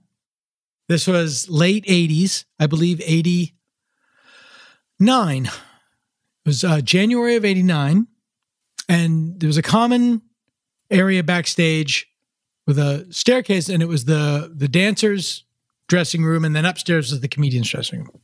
And uh, I was downstairs, and someone said, "Don't use that hairbrush." Got it. um, Love it. Love it. Love it. uh, nowadays, that wouldn't be a problem. Um, Right. But uh, yeah, that was uh, that was a tr- that was a true story. Well, Um, one of my great, I one of the uh, reasons I'm thrilled to do this podcast is because in the same way, and we spoke about it earlier a little bit, that there was a reaction against the nightclub comedians with Mort Sahl wearing the sweater, and then your generation, in particular, what happened at the Big and Tall bookstore mhm. which is in was the a book. reaction against in the early '90s against what was happening in these comedy clubs. Yeah, it was. You know that. Can you tell that- me a little about what you guys were thinking? Because I'm just fascinated. Because in a way, Yeah. you guys are Well, you the know, Mort Sahls of that of that I know. It was just a it was just people in suede coats writing on their hand. um, at that point, you know, you talk about so you get for Lenny Bruce and Yeah. Mort Sahl, and then you get the comedy album. Oh, yeah. And the- well, and that's the a big part of Mort Sahl's right. fame as well, by the way. Right. He's, and yeah, Bob Newhart's and Lenny Bruce, and and that, that breaks down the language barrier, and that makes comedians bigger and more. So, and at the same time, and we're not talking about it, at the same time, you have all these, you know, Jerry Lewis and and Alan King, and these very traditional Bob Hope, Milton Berle, Jack Benny. They're still huge. huge, huge. Comedy album is so important in the history of all of this for a number of reasons. One, it allows these guys, Shelley Berman and Bob Newhart, Bob Newhart particularly, to reach crazy audiences and reach a level of fame that really made the nightclub guys, Joey Bishop and Alan King, upset. And they would not put out albums. There was a real cultural divide. They said, I'm don't going to burn my act. Exactly. Yeah. Why should I give for a dollar ninety eight my act away when I'm getting eighteen thousand a week in Las Vegas? And it made sense. And they looked at these little, I don't know, jazz club comedians. Like I guess that's the level we would call them, right? Um, as like, oh, they couldn't come close to doing real stand up comedy like we do here in Vegas or in the Catskills or in Right. Miami Beach. Right. So it was a real cultural divide Right. that was similar to alt and mainstream comedian. I know I keep Right. jumping to that. No, it's But. I'm just but I'm just saying the record album, oh my God, if you think about it, is the first time someone heard an entire act, an entire Right. act Right. in With no, their no environment. language, no language barrier, no nothing. And so it was kind of like the precursor of our Comedy Central specials or our HBO specials because you're seeing the entire act. That's the Right. entertainment. Right. So, and then people, you, so you get the feel of it like, oh, this is a little room. Oh, this is a hot room. Oh, this guy's struggling. Oh, a little guy named uh, uh, Bill Maher would transcribe Robert Klein's albums. Like, oh, this is how a joke is told. This is how many laughs Right. made. Right. Yeah. So it would let it would give you as a kid, you could Yeah. hear something you could never otherwise hear. And also as a kid, who else has albums? Rock stars. Right. So you weren't playing the supper club. You weren't somebody that your parents would go to see at a supper club. You were somebody you would go to see a rock star. Oh, Only you were being funny. Um, and and uh, now I'm in. I don't know if I would call Bill Dana a rock star, but go ahead. But that, but but that's what it was like. Sixty. I'm talking about like Carlin Pryor. Oh, the 70s Steve albums. Martin. Ye- Yeah, yes, the, the yeah, ones that yeah. evolved. You know, those comedians were on Don Kirshner's rock concert and the Midnight Special, and they were they were in the same breath with rock stars. So for my generation, your generation, they were you know like Jerry Lewis was a comedian. George Carlin was a rock star who did comedy Yeah.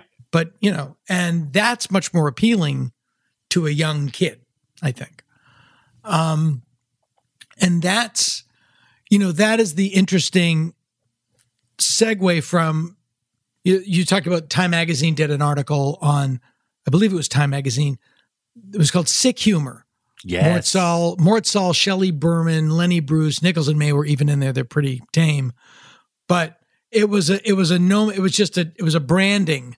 They're sick. They're sick comedians, um, because they weren't doing mother-in-law jokes. Right. And and there was a to, yes, the sick Nicks was the name of that article. And there was kind of a like you could tell horrible jokes about driving over a kid or something like that or Yeah. baby. Like there was that going on in Right. society, but they also thought what definitely what Lenny Bruce did was sick. Yeah, There's totally. no question. Yeah, Yeah. yeah, it's really weird. It's just it's yeah. No one had ever. Yeah, it is, and nobody had ever done. Like, you know, Lenny Lenny Bruce. Lenny Bruce did a bit uh, for an example. Uh, you know, just uh this is a one off the top of my head. The, the famous footage of Jackie Onassis Mhm. Climbing over the back of a limousine, and and in Time magazine, or Life magazine, it said, "Here, the first lady is crawling over the hood to get help." And Lenny's like, "She's not getting help. Just get the fuck out of there. They're shooting." Yeah. And people wanted to crucify. him. Of course. Um, how dare you say that? In she was actually going did. for a chunk of his brain. right, right, um, right, right. actually In that way, they did crucify him. Yeah, they did. Oh, they did. No, they they, they pulled it off. Uh, he helped. Um, yes, yeah. they had a willing partner in that. Yeah, he had a, yeah, they had a willing partner in that. Um, but you know, that was that weird bridge. And then you get into and and for me to tell my story, you'll have to tell your story. What tell me the origin of the 80s comedy boom. How did this because in late 70s, I'm in late 70s, I'm in junior high school. And there's George Carlin, Richard Pryor, Steve Martin is bigger than anything. Absolutely. And the original Saturday Night Live Mhm. is bigger than anything. And they were rock stars. They were no question. so like I'm fr- I am friends with Laraine Newman and that freaks me out. That I'm friends with a member of the original SNL cast because those people to me were like the rolling goddamn stones. And they were so big and and then in the 80s you have this wellspring of comedy and then something in the 80s happens where it gets super monetized. No question. Well, they figured out. Well, I mean, there's so much that happens in the 70s. It's incredible. That's really where it starts. It starts with Johnny Carson moving the show to Los Angeles. Right. Which is And then- 72. Yes. And then with in the next year, he Freddie Prinze famously goes on the show, has this great set. Carson gushes over him. They come back from commercial. Carson's still talking to Freddie Prinze. They go to commercial. They bump the last guest, Erma Bombeck, to talk to Freddie Prinze one more time. First 19 years old. 19. So he so everyone and then within a year he has a sitcom and he's a millionaire. Freddie Prinze. And he yeah, obviously didn't What could go wrong? right not a yeah he paid his dues and he was very able to handle he was able to handle it. So so anyway there's a migration of all these comedians that come to los angeles and to play like the comedy store which opened in 72 and then the improv which opened in 75 and so it's they've there's a club it's weird there's a club in long beach excuse me in newport beach called the laugh stop. Did you ever play that club in a way that's the first comedy club. And they weren't quite doing headliner middle opener. They were just using like three of the best acts from the comedy store. There's one show i talk about which is letterman starts opens then robin is in the middle and then leno closes. Wow. that's 1977 so so eventually and they figure out that like oh you can do a three person show and people will come see this comedy just comedy not I had, comedy I had and music but no idea about that Letterman Leno Robin show. That's yeah crazy. yeah yeah yeah and so And then the next week they were at Foo Bars. and then next week they're back at the uh, comedy store not getting paid Right. and upset yeah, and annoyed. Yeah. so so it's just great. So they figure out they start do make doing these little comedy clubs and it starts in San Francisco where the punchline starts. And then it starts in Boston and in these cities and suddenly any place that has a liquor license, this is the new disco. Right. And we used to Or- joke because that, now, now we're at the point where you and I are actually there. Right, right. So this And we new, used to joke about that. You go in the back room and there's a disco ball and a mechanical bull, and then the stand up mic is the Right. third one. and guess you know, what comes after this when a lot of these clubs close is a karaoke machine. Right. It's all the same. It doesn't matter to these bar owners what's No. going on there, right? asses in seats. Yeah, yeah.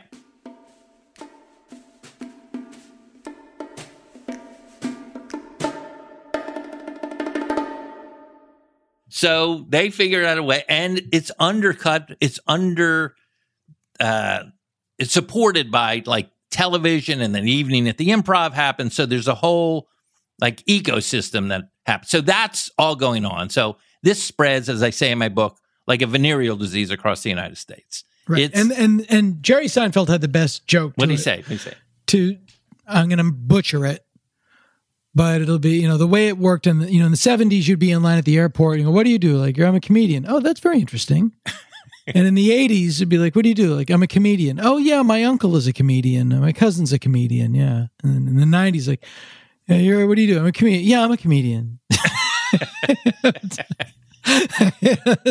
yes, yeah. So it was, and people loved it. People, it was a great date night. It was huge. I- cheap. it was cheap. I Um, lived in Boston. I started doing stand up comedy, you know, I started doing it in 1982, but I by 1985 I was working Can as I a ask you a comedian. question? Who did, did you go to a comedy club and who? yeah, I went to see? the uh the first time I went, first time I was in a comedy club, it was the first open mic I did. I was 17. Oh wow! So you did okay? Interesting. I was 17 and it was uh Lenny Clarke. I Mm-hmm. saw all the Boston guys, DJ Hazard, uh Barry Katz, um Brian Kiley, who I'm still and, and Bill Yeah. Braudis, two of my very good friends still. Right, right, right, Were there the first night I did it. How was Um, Barry Katz's act? He's a good manager. Got it. Got it. No, it was. I mean, it was eighty two. I mean, every I Okay. could do his jokes for you. Um, but uh, he. so you're there kind of at the start of the boom, and there's yeah, two- no, I was, but but but, but uh, same like by nineteen eighty five. I was living in Boston in, in a in a in a walk-in closet in someone's apartment, basically, and I was doing open mics. But I was working constantly, and by 1986, because I had a car and I didn't drink and I didn't do cocaine, right. I worked all the goddamn time because Now, can I just break this down a little bit? When you say you have a car, was that just to do one nighters, or was that to do a whole week? Well, that was no, just to do one nighters because in Boston they didn't do a whole week. You'd like Where? one night. give me an here- example of a one nighter. Just spell the it naughty, out. For, the Naughty Pine, which is is a that? bar down a bar down in Quincy. okay, so you had to you- drive down there. Yeah, I had to get the other comedians to drive down to Quincy, and they had comedy night, N I T E. Right. And there's a microphone in the corner. They shut it off, and he did stand. The next night, you'd be in Stockbridge, Massachusetts, two and a half hour drive at the Shaker Mill Tavern. And then the next night, you'd be up in Amherst, New Hampshire, at the Amherst Country Club. And then, and you're driving. And here's the thing: every all the big comedians were gacked out of their mind because they were all getting paid in cash, and it was the mid '80s and nightclubs, and cocaine was ubiquitous. I didn't do anything, so I worked a lot because, like, great, he'll drive. There's no we don't have to- question that having we- a car in the Yeah. 80s was a ticket for a lot of comedians to get like, incredible and we don't have to, and we don't have to give him any blow because he doesn't want it. He doesn't want it, and he's our designated driver. Yeah, so it was. Yeah. So I worked all every night, and I made a bucket of money, You made it all cash, right? All cash, all cash, and. Would- well, okay. Another question. Again, I'm a historian. and, and, and I'd come home like I'd be at the I'd go to the comedy connection and do like three shows on a Saturday night. right. That's just a regular comedy club, right? Regular, That's- yeah, comedy connection, three shows on a Saturday night, and I get Right. like two, three, four hundred dollars, wow. and I had to put it in my sock. I put like forty dollars in my pocket and put the rest in my sock, and then I take the Boston tea. I is a dangerous. Because if I got mugged on the way home, yeah, Yeah, if I yeah. get mugged on the way home, I could have some money left over. Love it. I love it. So I just, I just, I'm curious. When you went to do these gigs in Quincy and you went up to Massachusetts and stuff, did, I mean, went up to and Amherst. Did you? Was there a like? Oh, this guy gets fifty. This guy gets eighty. This yeah, the gets 100. breakdown. How did it the work? breakdown. The- And yeah, the first guy got, you know, you know, usually gets like 50 or 75, and then the other Right. guy would get like 125 or something, and then the headliner would get two, three hundred dollars. Okay, here's an interesting thing. And then the, very- cut, and then the cut was always the secret part that the MC didn't know about. right, right. the cut for the booker was always bigger than everybody else. yeah, of getting. course, of course. Yeah. Uh, here's an interesting thing: is like at the very beginning, there were just three people comedy shows. there was no Bo- everyone got paid the same. Yeah, yeah but, it was, but it was not got- MCing; it was tag team. Yeah. mostly. Oh, okay, okay. yeah. Yeah. So those are so there's a bunch of one nighters all over the country.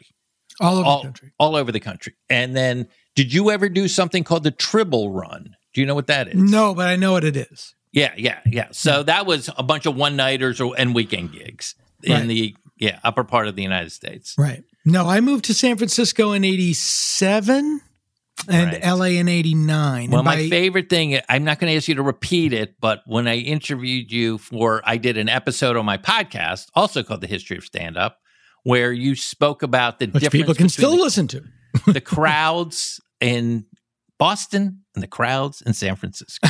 well, I don't even remember what I said. It was something like like you felt like you were so r- couldn't believe how easy it was to do stand up in San Francisco Yeah. compared to the Oh, yeah. battlefield you had to go Boston through. was a bad, yeah. Kenny Rogerson had the greatest joke about doing stand up in Boston. It's like you're trying to do stand up and people in the front row are welding.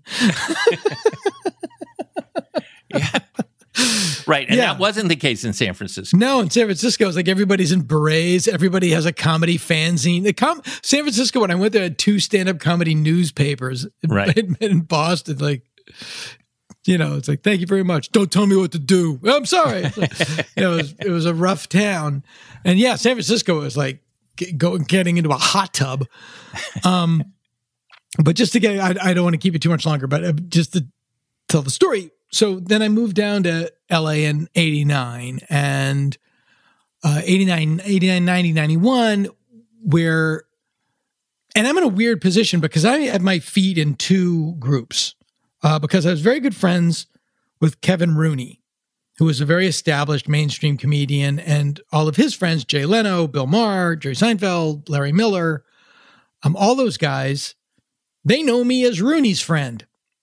And I've middled for many of them on the road at the improvs. And so they kind of think that I'm in that club. But socially, I'm friends with Janeane Garofalo and and and Kathy Griffin and and people that are my age and share my likes. And we would go to the improv and you couldn't do new stuff because it was I was like Janeane w- went there one night and and tried some new stuff and her agent was like uh Jim McCawley was there and he said you bombed. And she was like, Well, he was booked the Tonight Show. And she was like, Well, I didn't know Jim McCawley was there. I was just trying out new stuff. So so we wanted a place where we could try out new stuff and not have to worry about being about ruining our chances of ever getting on the Tonight Show. So there was a bookstore on Beverly Boulevard called Big and Tall Books that somebody knew somebody at, and it had a little uh, had a little loft area Upstairs, yeah, yeah. upstairs. Yeah. Yeah. And so we said we'll do a show there on Wednesday night. We just mimeographed a little thing and put it up because it was a small room, and we put people in there. And and then, th- but then we said, okay, but here's the deal: not only not only is it a place to do material to do new material, you have to do new material. You can't do your shit. You've got to you've got to do all new stuff. So you would like anybody, you would put it off and you'd write it that day because you put it off. And because you'd written it that day, you had memorized it yet. So you would go on stage with your notebook because you had just written it that day. And that became the origin of going on stage with your notebook. It had nothing to do with later, it became like, um, I haven't, it's like, I would say there's nothing wrong with memorizing your act. You're not a sellout if you've memorized your act. So you don't need to have your notebook with you. But if you've never done it before, yeah, you bring it on. But that And- became a trope of what that became a trope. That became a, a big trope, a big trope. Yeah, but it wasn't the intention at the time. Um, yeah, and then and from that, it became known as alternative comedy, and there were other rooms that were doing similar things in LA and New York at the same time, and it just became a reaction to by that time the um, the ubiquitous the ubiquity of of comedy clubs and standard it, it's uh, it was Jerry Seinfeld. It really was his organic persona, and still is to this day. But it became a trope at the time of comedians that talk like this, and everything is who are, they would. They did sketches about it on Saturday Night Live. Right, right, right. right. Who you know, with Tom the- Hanks. Yeah. Yeah. Who are these people? And guys with their suit jackets pushed up over their elbows and big shoulder pads, and uh, and that Who was the marketing genius that came up with this and then Right. do the act out? Yeah, and it was just a trope, and we were just like, no, we don't want to. We, you know, Can we I wanted ask to be you another question We, uh, just this? we wanted to be rock stars too, Right. But we wanted to be REM and Elvis Costello and the Pixies. We wanted to be the people that we were listening to, which were alternative Awesome. rock awesome. stars. How did the audience find you? This is what I don't understand. Like, because I feel like the audience was half this alternative world's game.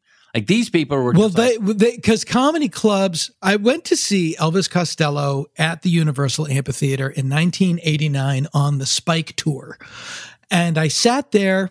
I I think I was with Janeane, and I remember looking around at the audience saying, "Where where are these people?" Because comedy clubs had driven them out by then because they were so commercialized. Comedy clubs were a tour bus coming in from Magic Mountain. You've been there all day, and now you're going to go to the Improv, and then we're going to send you home. You know, it's like our audience wasn't going to comedy clubs anymore. They had been McDonaldized. Mm-hmm. So a lot of it was our friends and then word of mouth, but it it worked quick because there was a group of people our age in LA at the time that wanted to hear stuff that they could relate to and they weren't getting it in comedy clubs and it very quickly became the thing. And then everybody came. And i owe my career to that oh, because cool people, you know george meyer came to see me at luna park and became Doing a the fan on of cabaret, mine. doing the on cabaret. Uh, doing on cabaret and became a fan of mine and then later suggested me to work on the simpsons so had it not been for me at Luna Park and George Meyer seeing me, I wouldn't have gotten hired in The Simpsons and I wouldn't have the career that I have. So I really do owe my career to to those shows. And a lot of mainstream comedians took great offense to In what the we were same doing. way, Alan King took offense to people putting out records. Yeah. They they uh I I know that there was a big article about us in the LA Times and Andy Kindler uh said we're the anti-Lenos. Yeah, which Jay didn't appreciate, but it was never to me it wasn't it it, it- it wasn't a knock on Jay. And I'm older now and I have a different perspective, but it was just like, we're just doing something different in the way that you know REM is not Led Zeppelin. yeah, Led Zeppelin. Right, right. they're right. both great. You know, it's like I'm right, not a Led Zeppelin fan, but I understand they're great. You know, Yeah, it's yeah, like yeah. I, I don't begrudge people who love them. Uh, it's just a different thing. It's a different sensibility, and it's a different. right. Uh, it's it's a different uh, social group, and it was part of the niching of entertainment. Like this is, you know, this is for Weezer fans. This is you're for that. Um, but then, like anything else, it became a trope. You know, and then it became a style and a became you know Madison Avenue. And it also got it got sucked into the mainstream. Yeah, completely. Right, and right. then it had a TV show.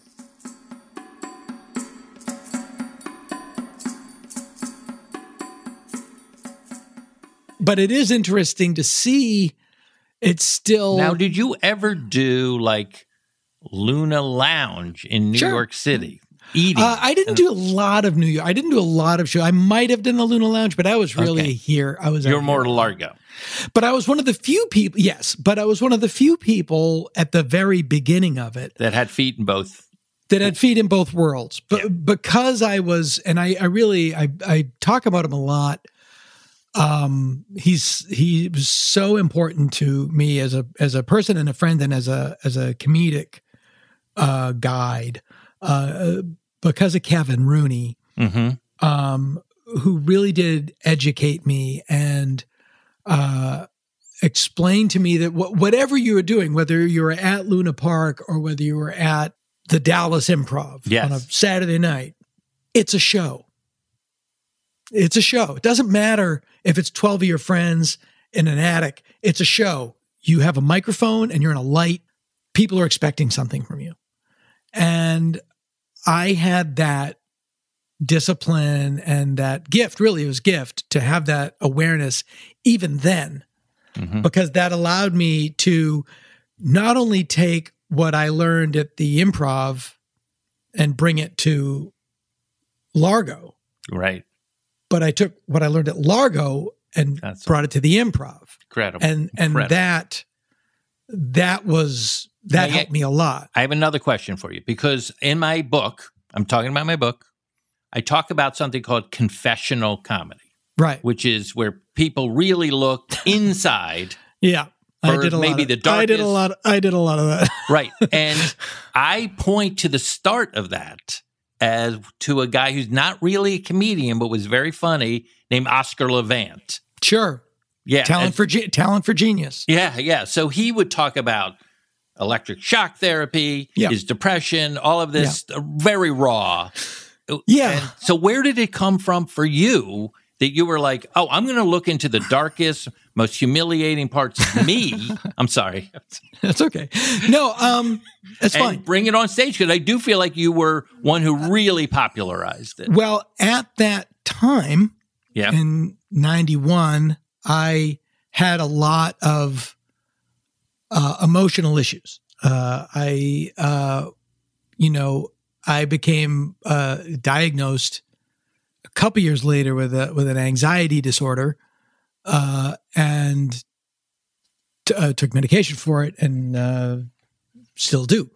Um, but at the, you know, I was, I had at the time, you know, it had, uh, what's the word I'm looking for? It had, it, I had every physical stress related malady you could have. I had irritable bowel syndrome. Uh-huh. I had insomnia.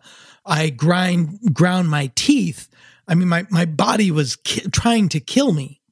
And I was, a, I was a wreck. I mean, I was, I was a wreck. Uh, and a lot of it is just genetic. You know, uh, other members of my family have this. They, I go to the pharmacy, go to they go to the liquor store. It's the same. You're doing the same thing.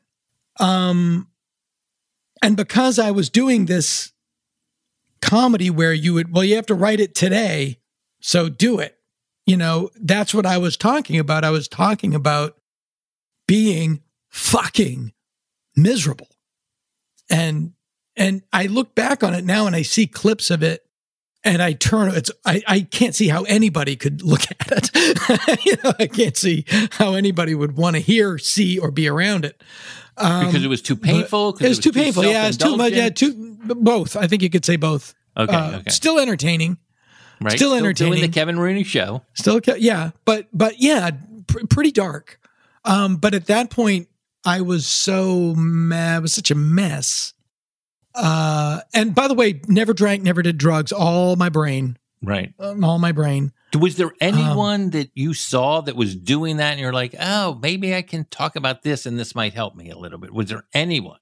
On stage as a Yes. comedian. Yeah. No, Richard Pryor live in concert where he's Yes. talking about having a heart attack. I was like, well, Mhm. he can do that. That gave me the theatrical awareness of turning it into something theatrical, but it was more the you know, like to me it was like could I do could I do and stand up what like Tom Waits does with a song? Like can I can I tell like a really weird baroque story about myself? And uh but I was literally it was the only thing I Well, I I, could talk about it because it was the only thing on on my mind at the time. Well, you will admit that that confessional comedy is very much in the zeitgeist today. Sure. That is yeah. a big Yeah. part of it. Almost And like it's- it's fine, almost but- like a trope now. Like, But it oh, was I'm- funny. You have Yeah. to. It still has to be funny. Oh, I see. it still. you- I it hear still has I to. you're talking to. Yeah. It, it it still has to be funny. It's still Right. a stand up show. You know. It it. uh If you don't want to do, and I did a one man show that wasn't all funny called Insomnia, that was a lot of that stuff done in a traditional theatrical structure with a director and a thing Mhm. and I didn't call it stand up comedy because it wasn't stand up comedy. It was it was a one man show. Uh, but if you're going to do it at stand up, I mean, I love stand up because it is a it's a gutter art. Um, What do you mean by that? and it's a it's a for the groundlings, no pun intended. It's a you know it's just a mic and a stand and a spotlight. You don't that's all you need, and you can do it anywhere, and you do it for anybody. And I and I love to take just that that stripped down black box and create a theatrical experience with just your technique without any music cues or spotlight or anything. You just do it with what you have there. I mean, I always found that very appealing. Uh, um, uh, but it is still, but for it to be done in a comedy club, you still have to end it with a joke. You still have to end it with a laugh. Other podcasts reach for the sky. Dana.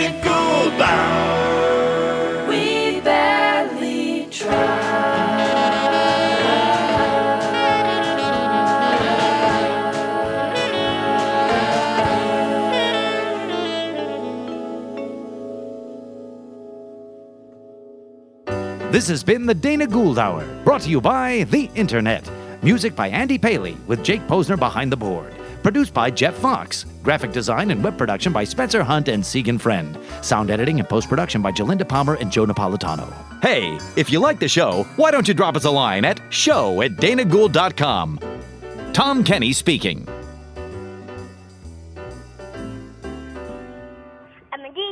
I'm a DJ, I'm a person, I'm a person, I'm a singer, I'm a singer, I love to sing and DJ.